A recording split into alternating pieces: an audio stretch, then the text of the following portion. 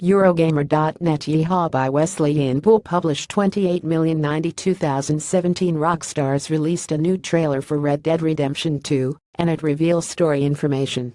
The game tells the story of outlaw Arthur Morgan and the Van der Linde gang as, according to the official blurb, they rob, fight and steal their way across the vast and rugged heart of America in order to survive.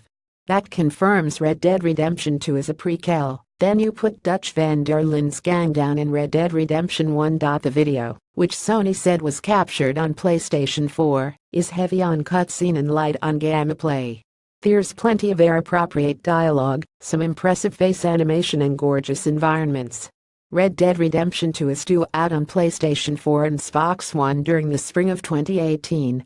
Want to know more about the game? Check out our Red Dead Redemption 2 guide to everything we know.